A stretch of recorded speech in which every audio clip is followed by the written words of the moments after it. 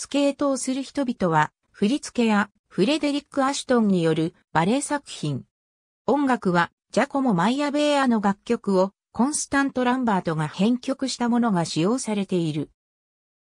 舞台美術と衣装は、ウィリアム・チャペルが手掛けた。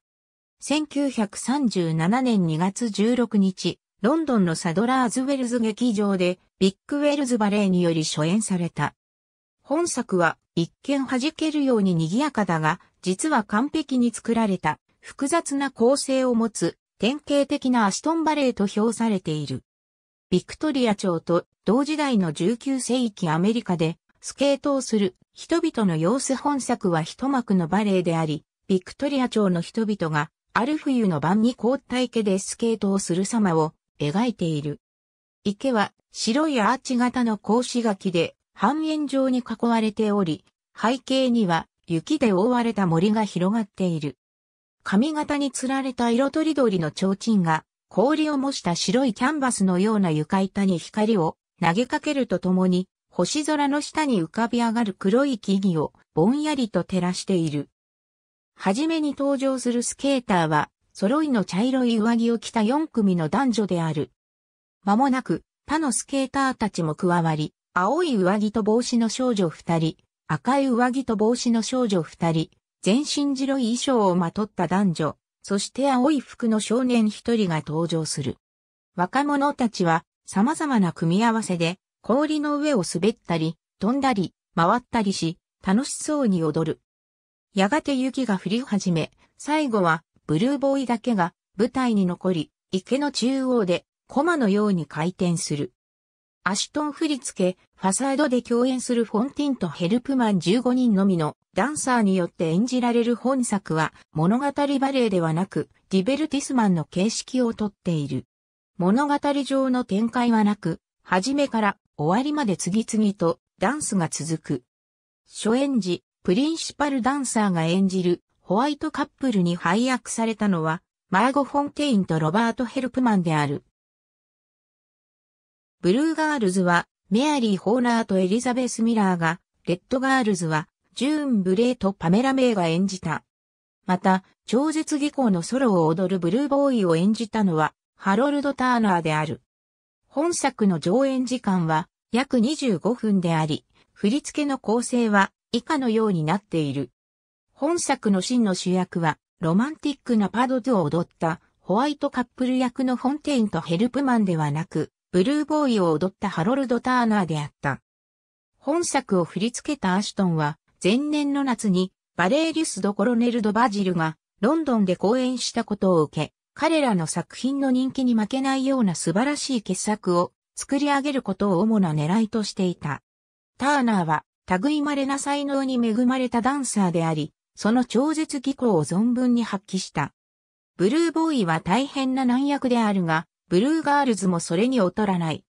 また、ブラウンボーイズは、コールドバレーではなく、ソリスト級のダンサーが演じることの方が多い。これは、ブラウンボーイズの軽快に飛び跳ねる踊りが相当な跳躍とスタミナを必要とするためである。本作の着想を得たのは、1930年代にビッグウェルズバレーで音楽監督を務めていたコンスタント・ランバートである。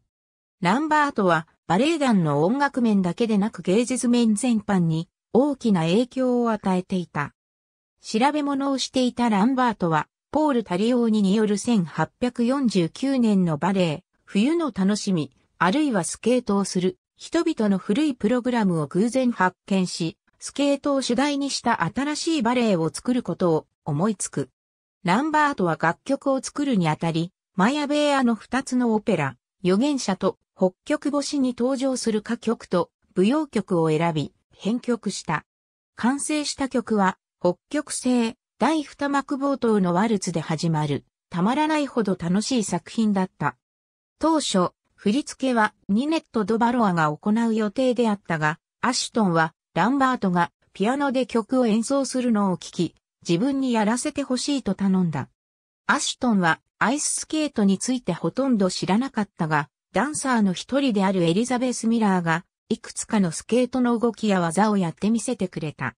それらをバレエの動きに置き換えたアシュトンは、本作を通じて、当時急成長中だったイングランドのバレエが優れた技術を持っていることを明らかにしようとし、人々の喝采を浴びた。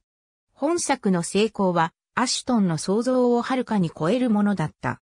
初演で大成功を収めた後、本作はビッグウェルズバレエからサドラーズウェルズバレエ団へ、さらにロイヤルバレエ団へと引き継がれながら、ロンドンで1937年から1968年までの全シーズン上演された。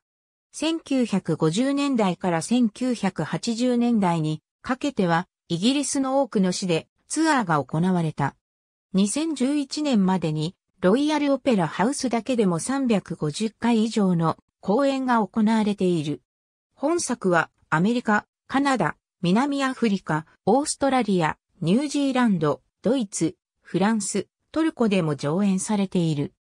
1946年にアメリカンバレエシアターが上演した際は舞台美術と衣装を新たにセシル・ビートンが手掛けたが、チャペルによる元のデザインとはかけ離れており、満場一致で不評であった。本作はテレビで放映された最初のバレエ作品の一つである。1937年5月3日、アレクサンドラ・パレスで行われた公演を BBC が放映した。ただし、録画はされておらず、映像は残っていない。